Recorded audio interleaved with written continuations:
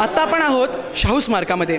इथं आपण बघू शकतो की महाराष्ट्र सांस्कृतिक कार्य संचलनालय मुंबई आयोजित अकरावी बालनाट्य स्पर्धा इथं या शाहू स्मारकामध्ये सध्या सुरू आहे. नाटकाची सुरुवात सांगलीमध्ये सीता स्वयंवर या नाटकानं राजवाड्यामध्ये झाली. त्यानंतर नाटक हे जगाच्या कानाकोपऱ्यात सर्वत्र गेलं. मोठे लोक नाटकात काम करतात मग आम्ही नाटकात का काम करू नये असा लहानांचा प्रश्न. या प्रश्नाला उत्तर म्हणजे ही बालनाट्य स्पर्धा. तर बघूयात बालनाट्य स्पर्धेचा नाटकातला हा प्रयोग. चला तर.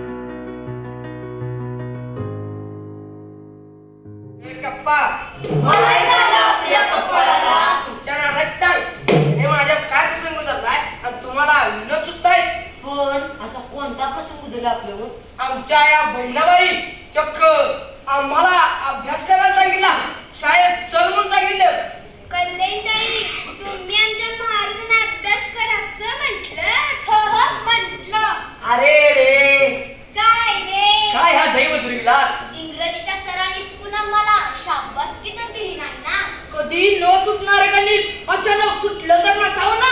मग आम्ही असे कसे? कम नशिबी राजे राजे राजे. आपण तुमचं वय झाले ना म्हणून तुम्हाला तसं वाटतंय. अरे काय काय बनलंयस त्या? वय आणि पुस्तक. एवढी वया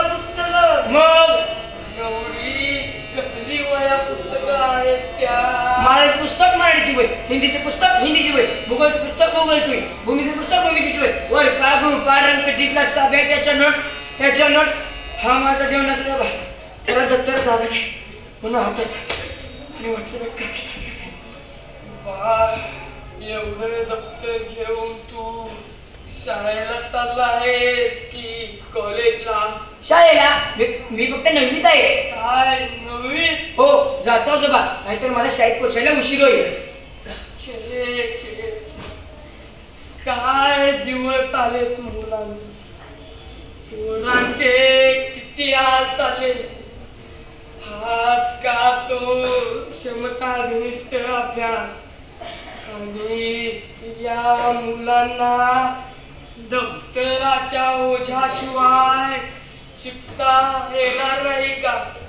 आणि ते दप्तराचं ओझ या कोऱ्या मुलांच्या खांद्यावर कोणी दिलंय? देशासाठी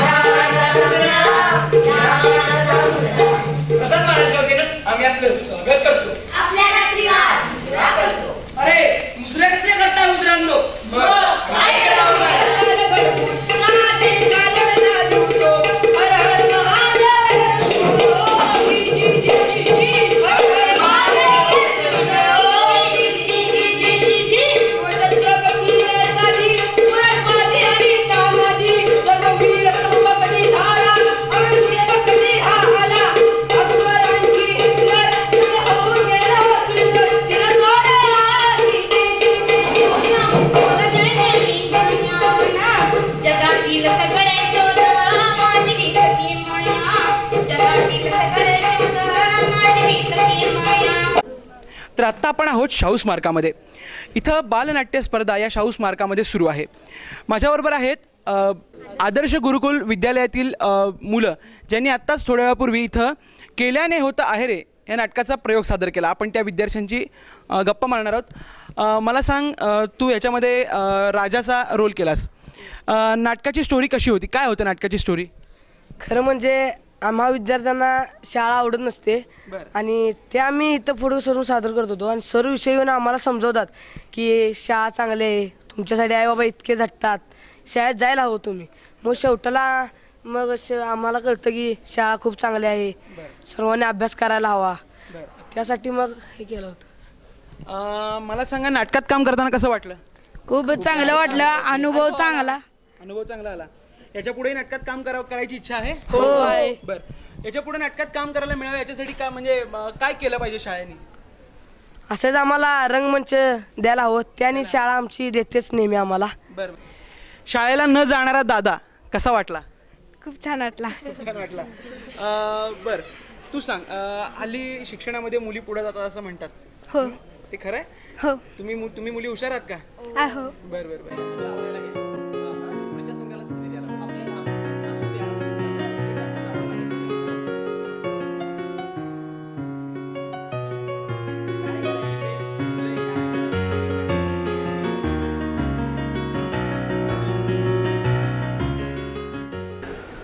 आत्ता माझ्याबरोबर आहेत या बालनाट्य स्पर्धेचे परीक्षक जे या हो या इथं सादर होणाऱ्या नाटकांचं परीक्षण करून याच्यातला विजेता कोण हे ठरवणार आहेत.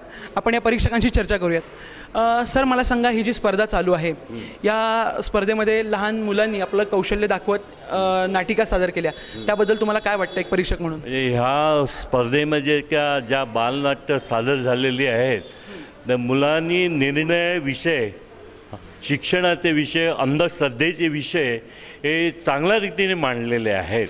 आणि बऱ्याचशा बालनाट्य मला पुढे येणार असे वाटते. त्याच्यामध्ये कलामंत उत्पन्न होतील असं मला वाटतंय. आणि त्या दृष्टिकोनातून ही बालनाट्य स्पर्धा नक्कीच यशस्वी होईल. पण ही अशीच जाणकारांनी ती राबवली पाहिजे व्यवस्थित राबवली पाहिजे. मुलांचे जे गुण आहेत अभिनय गुण ह्याच्याबद्दल शिबिरं भरवली पाहिजे. तर ह्या बालनाट्याला काहीतरी चालना मिळेल.